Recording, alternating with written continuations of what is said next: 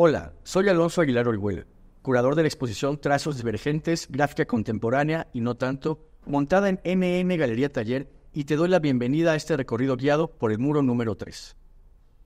El acervo de NN Galería cuenta especialmente con litografías del taller La Máquina, dirigido por el artista e impresor Francisco Limón, auxiliado por Polo Vallejo.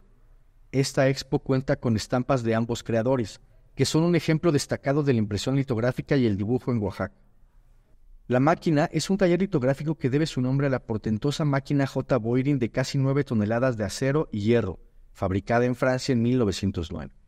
Fueron necesarios dos meses de travesía por barco para que la prensa y 10 piedras de mármol alemán arribaran a México en 2016.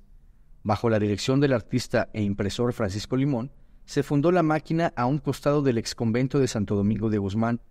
La prensa perteneció al famoso y prestigiado taller Claude Bramsen y George, con una trayectoria de 120 años en los que trabajaron con artistas como Francisco Toledo, José Luis Cuevas, Rodolfo Nieto, Carmen Parra, Alberto Quironela, Vicente Rojo, Guillermo Holguín y más.